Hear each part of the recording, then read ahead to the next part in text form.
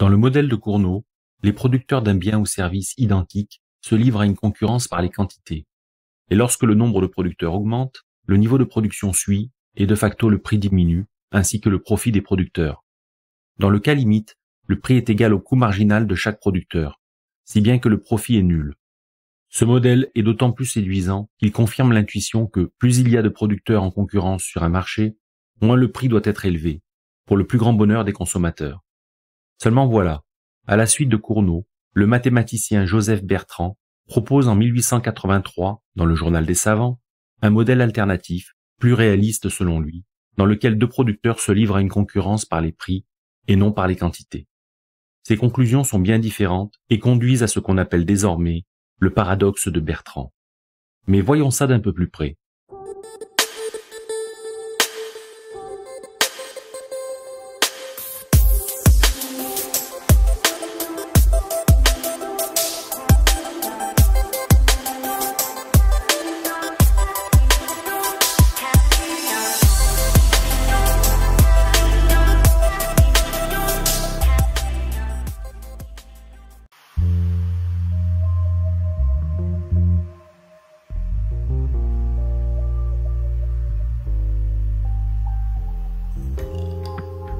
Commençons par exposer les hypothèses du modèle de Bertrand.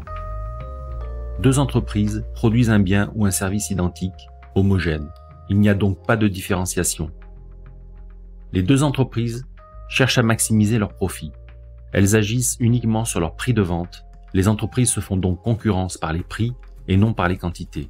Elles ajustent leur prix en fonction de celui du concurrent.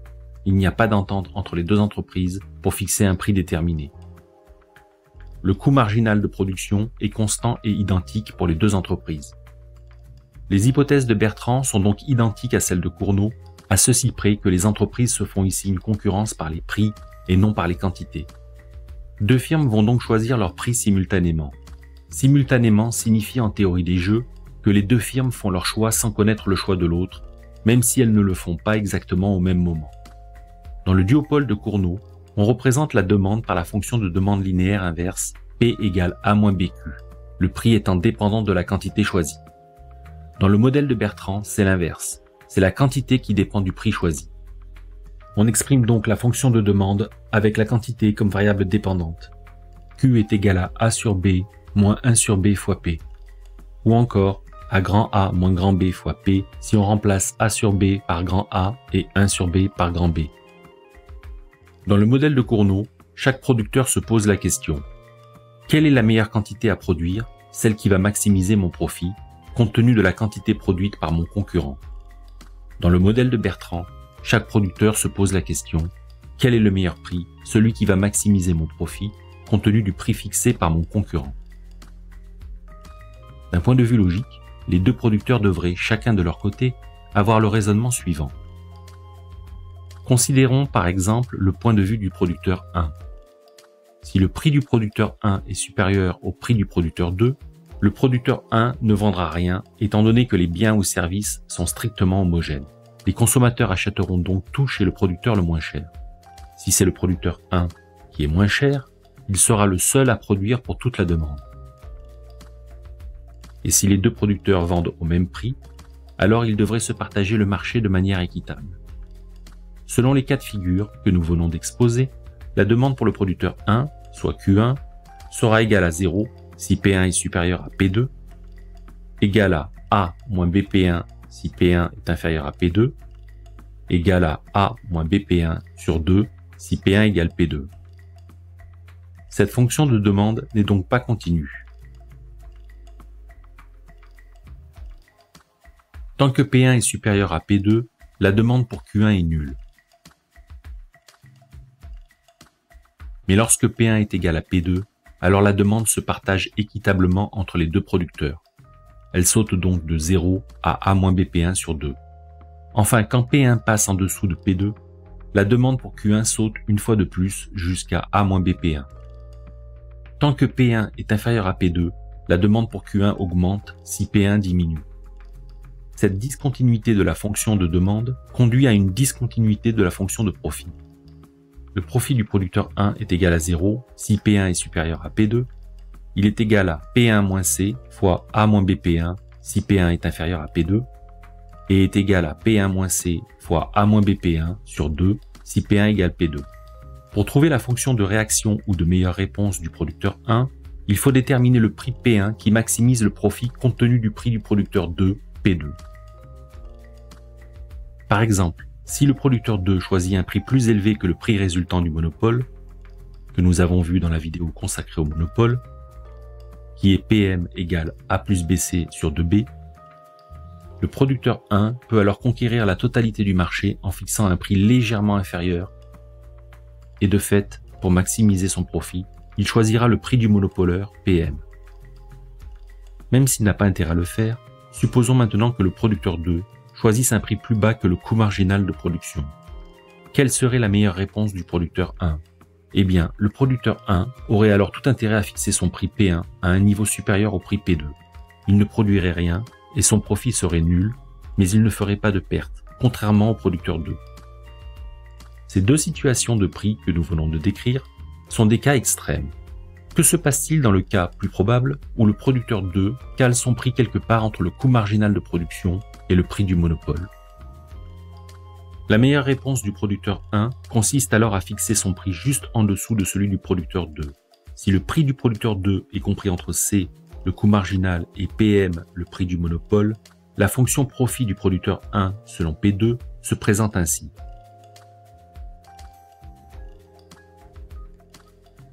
Au point P1 égale C, le profit du producteur 1 est nul. À mesure que P1 se rapproche de PM en restant toujours légèrement sous P2, le profit du producteur 1 augmente. Le maximum est atteint lorsque P2 égale PM et que P1 se trouve juste en dessous. Si toutefois le producteur 1 cale son prix P1 sur celui de son concurrent P2 et au niveau de PM, le prix d'équilibre en situation de monopole, alors son profit sera divisé par 2 car le marché se partage équitablement entre le producteur 1 et le producteur 2. Au contraire, à partir de ce niveau de prix, si le producteur 1 diminue d'epsilon son prix par rapport à celui de son concurrent, il double sa part de marché et son profit. La meilleure réponse du producteur 1 par rapport au prix fixé par le producteur 2, lorsque celui-ci est compris entre C et PM, est donc P1 étoile égale P2 moins epsilon. Enfin, que se passe-t-il si le producteur 2 fixe son prix au niveau du coût marginal C? Bien entendu, le producteur 2 n'a aucun intérêt à faire ceci, car il ne tire alors aucun profit de sa production. Mais admettons qu'il le fasse. Dans ce cas-là, la meilleure réponse du producteur 1 est de caler son prix au niveau de P2, donc de C, ou alors au-dessus. Dans le cas où son prix est égal à P2, il partage les ventes avec son concurrent, mais ne réalise aucun profit. S'il vend à un prix supérieur, il ne vend rien et ne réalise aucun profit également. Par conséquent, la meilleure réponse ou réaction du producteur 1 en fonction du prix fixé par le producteur 2 est P1 étoile égale A plus BC sur 2B si P2 est supérieur à A plus BC sur 2B. P1 étoile égale P2 moins epsilon si P2 est supérieur à C et inférieur ou égal à A plus BC sur 2B. P1 étoile est supérieur ou égal à P2 si C égale P2. P1 étoile est supérieur à P2 si P2 est inférieur à C et supérieur ou égal à 0. Par symétrie, on en déduit la meilleure réponse ou réaction du producteur 2 en fonction du prix fixé par le producteur 1. Avec tout ça, quel est le point d'équilibre, c'est-à-dire le prix P1 et P2, tel qu'aucun des deux producteurs n'a intérêt à changer son prix? Autrement dit, quel est l'équilibre de Nash? Après examen de toutes les situations, le seul équilibre de Nash possible est P1 étoile égale P2 étoile égale C, c'est-à-dire lorsque les prix des deux concurrents se situent au niveau du coût marginal de production. À ce niveau, aucun des deux concurrents n'a intérêt à modifier son prix. Imaginons par exemple que le producteur 2 décide de baisser son prix en dessous de C. Il ne réalise alors aucun profit et le producteur 1 non plus. S'il décide d'augmenter son prix, c'est exactement pareil. Si les deux prix se situent au-dessus de C, alors les deux producteurs ont intérêt à proposer un prix légèrement inférieur à celui du concurrent. Cet intérêt disparaît lorsque les prix reviennent au niveau de C. Cette conclusion nous amène à un paradoxe, car dans le modèle de Bertrand, il suffit de seulement deux entreprises de taille relativement importante pour atteindre l'équilibre de la concurrence parfaite où le prix est égal au coût marginal. alors que dans le modèle de Cournot, pour que le prix atteigne le coût marginal, il faut un très grand nombre d'entreprises de plus petite taille. Pourtant, deux entreprises qui ont un certain pouvoir de marché devraient pouvoir réaliser un profit, quitte à s'entendre sur le dos du consommateur. Elles n'ont en effet aucun intérêt à produire pour un profit nul. Dans la réalité, on ne constate pas ce genre de situation où deux entreprises en concurrence ne parviennent pas à dégager de profit. En outre, il est difficile de croire que le moindre petit écart de prix entre les deux producteurs puisse entraîner un basculement total de la demande vers le producteur qui affiche le prix le plus bas.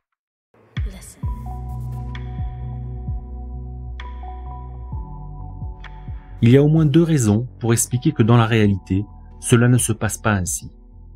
L'une est que le producteur au prix le plus bas n'a pas forcément la capacité de production nécessaire pour absorber toute la demande. L'autre est que les biens ou services ne sont jamais complètement homogènes. L'économiste Francis Isidro Edgeworth est le premier à avoir adapté le modèle de Bertrand à des situations où les deux producteurs ont des capacités de production limitées. Pour montrer à quel point les contraintes de capacité jouent, prenons l'exemple de deux complexes cinématographiques en concurrence dans une même ville. Disons que le premier complexe, le complexe A, a une capacité d'accueil de 500 spectateurs par jour, tandis que son concurrent, le complexe B, peut en accueillir un peu plus, disons 700. La demande totale par jour, notée Q, en fonction du prix P, est estimée par l'équation Q égale 1500 moins 30 P. Supposons que le coût marginal de production soit de 6 euros par ticket pour les deux complexes cinéma.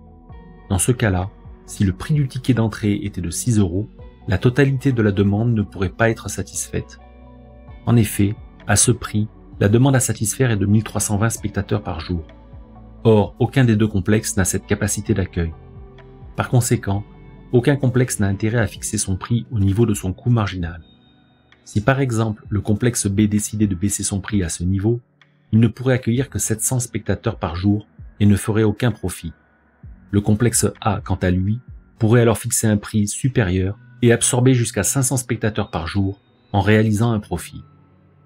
Supposons que les deux complexes aient connaissance qu'au prix de 6 euros le ticket, la demande totale est de 1320 spectateurs par jour et que l'un des deux, disons le complexe B, décide de s'agrandir et de fixer son prix à 6,10 euros pour absorber la quasi-totalité de la demande. Est-ce que cette opération lui serait profitable? En fait, non car le complexe A pourrait fixer un prix équivalent ou légèrement inférieur, par exemple 6,5€, et capter quand même 500 spectateurs par jour.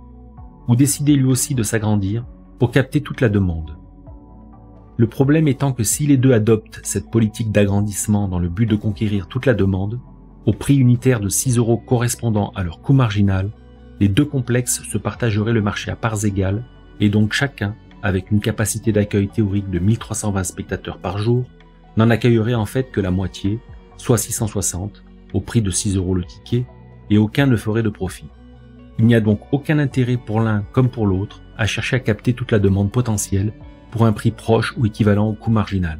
À quoi bon construire un complexe pouvant accueillir 1320 spectateurs par jour si, du fait de la concurrence, on ne peut en accueillir que 660 Le prix se situe donc nécessairement à un niveau supérieur au coût marginal.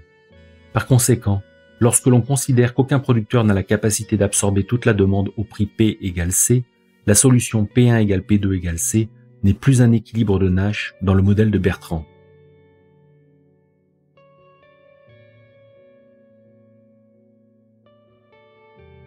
D'un modèle à une seule stratégie possible, celle de choisir la quantité dans le modèle de Cournot ou le prix dans celui de Bertrand, on passe ainsi à un modèle à deux étapes et deux stratégies. Dans la première étape, les entreprises choisissent leur capacité de production et dans l'étape suivante, elles se font une concurrence par les prix. C'est le modèle de Krebs et Schenkman de 1983. Ces deux auteurs montrent que l'équilibre obtenu dans le modèle de Cournot coïncide avec celui obtenu dans un jeu à deux étapes. La première correspond au choix simultané des quantités par les deux producteurs et la seconde à une concurrence par les prix. Comme nous l'avons dit précédemment, si l'on admet que les biens et services ne sont pas parfaitement homogènes, c'est-à-dire qu'ils ne sont pas parfaitement substituables ou encore qu'ils sont différenciés, alors le paradoxe de Bertrand peut être levé. Des prix différents peuvent subsister au-dessus du coût marginal. C'est ce que montre Hoteling dans son modèle de 1929.